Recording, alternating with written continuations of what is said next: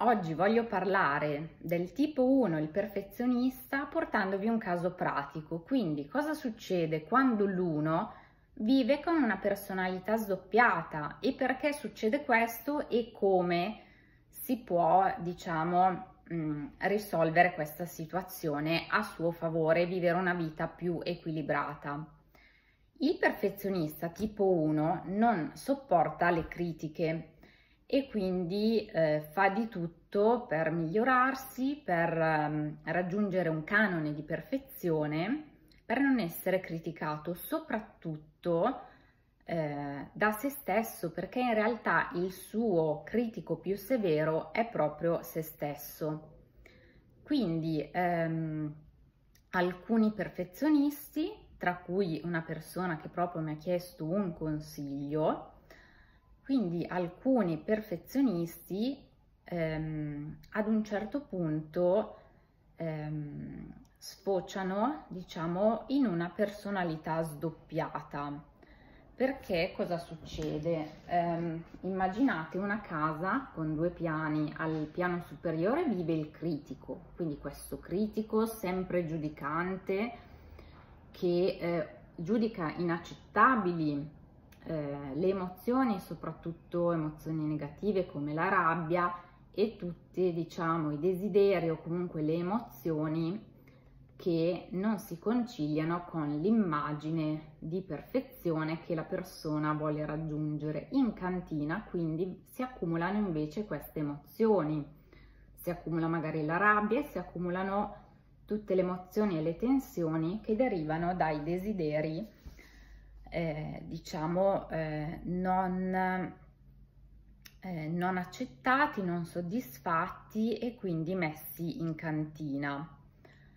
Quindi questa grossa tensione tra queste due parti a un certo punto cosa, a cosa porta? Porta che questa cantina eh, arriva a contenere troppe emozioni, troppe cose che a un certo punto esplodono e allora qui si crea la personalità sdoppiata, quindi eh, la persona che mi chiede il consiglio è una persona che nella vita quotidiana, ehm, diciamo nell'ambiente lavorativo e familiare, eh, l'ambiente dove diciamo tutti lo conoscono per la persona irreprensibile che è, eh, appunto si presenta in questo modo e poi invece in contesti dove non si sente giudicato, dove è lontano dai riflettori, dove è lontano comunque dalle persone della quotidianità,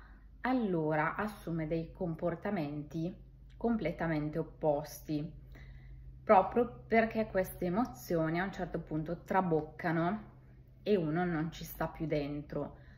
Quindi cosa succede?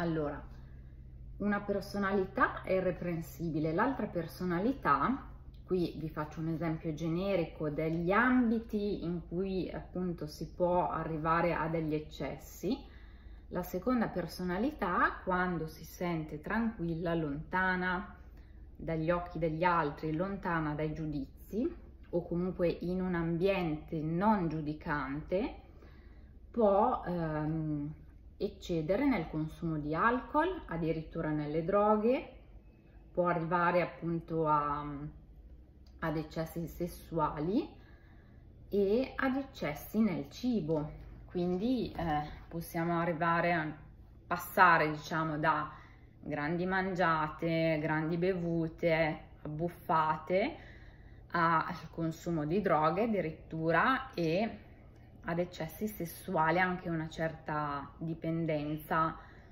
eh, dal sesso, insomma, eh, la ricerca comunque di situazioni eh, forti. Questo perché a forza di reprimere, reprimere, reprimere, mettere in cantina tutto ciò che è giudicato inaccettabile, prima o poi eh, la tensione è troppo forte e trova uno sfogo. Questo sfogo quindi spesso non è controllato perché deriva da un accumulo di tensione, quindi eh, butto dentro, butto dentro, butto dentro, in cantina poi la cantina esplode. Quindi il consiglio per una personalità di questo tipo, quale può essere? Allora, può essere quello che eh, non bisogna essere troppo intransigenti con se stessi, bisogna dare, diciamo, una limata al nostro critico interiore, quindi perdonare da soli i nostri sbagli e ehm, accettare che possiamo non essere perfetti.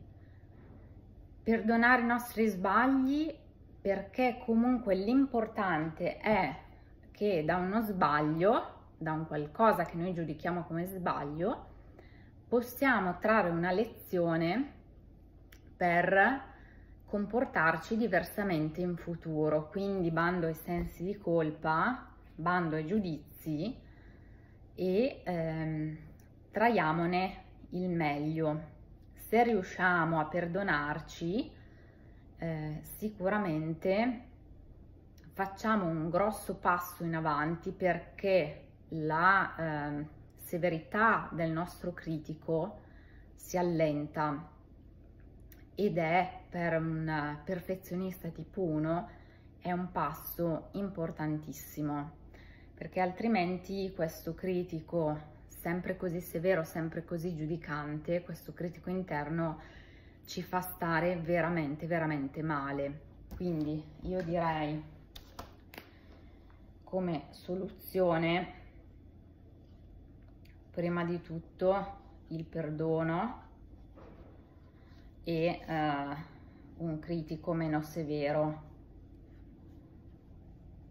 con noi stessi.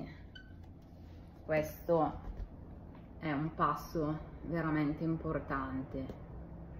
Quindi il perdono non fine a se stesso, fine anche a migliorare in futuro e fine appunto ad accettare che non si può essere perfetti. Poi in secondo luogo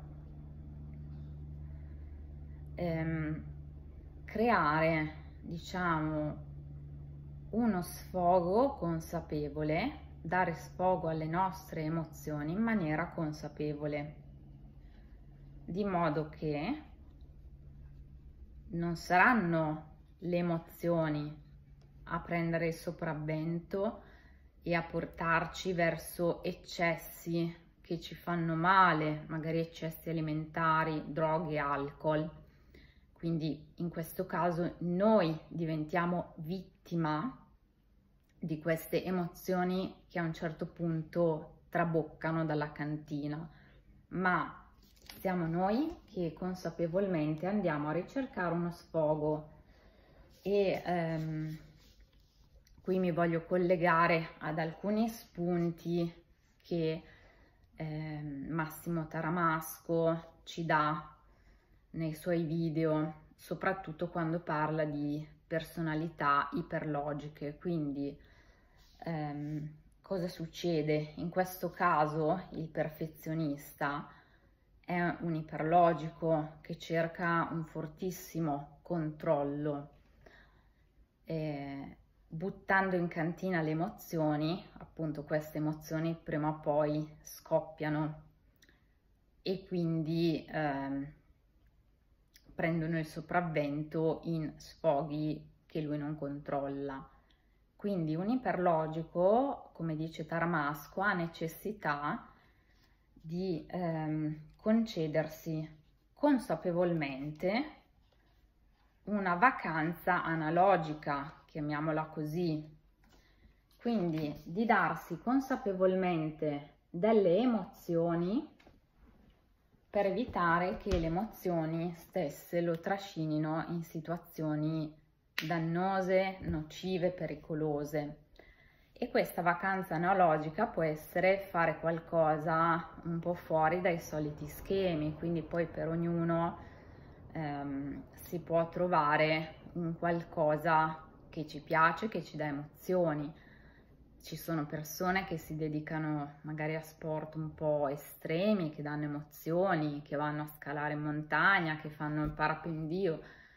Eh, ci sono eh, magari persone che possono trovare nuovi hobby, magari ehm, io mi sento impacciato nel movimento, non ho mai ballato, mi iscrivo a un corso di ballo, anche quella è un'emozione. Eh, trovare comunque un qualcosa e deciderlo consapevolmente in, con cui darci emozioni che saranno emozioni positive che non danneggiano la nostra salute e la nostra psiche. Quindi questo è il consiglio che posso dare a questa persona che mi chiede appunto come eh, evitare eh, questi eccessi dannosi che derivano dall'avere una personalità sdoppiata, anche perché poi ehm, il perfezionista che ha una personalità sdoppiata vive interiormente questo conflitto tra il piano sopra della casa, tra il critico, la persona irreprensibile e diciamo invece la, la personalità che dà sfogo alle emozioni più basse, no? Tra virgolette. Quindi il consiglio è proprio questo, di trovare un modo di darsi emozioni in maniera consapevole e questa vacanza analogica può essere davvero in base alle vostre predisposizioni, in base a quello che vi può dare piacere. Poi eh, a volte la paura di fare qualcosa in realtà rivela il desiderio di fare qualcosa. E quindi buttarsi in qualche nuova avventura stimolante.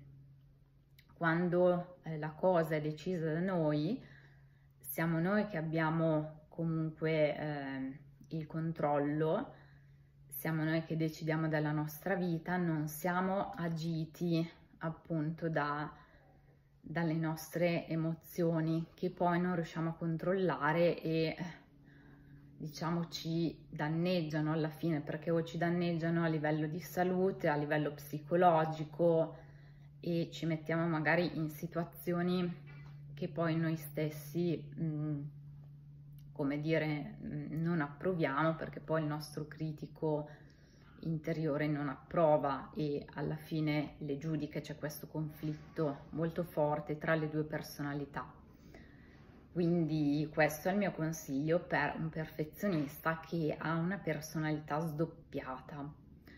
Se vi è piaciuto questo video iscrivetevi al canale e eh, continuate a seguirmi anche su Instagram. Ciao a tutti!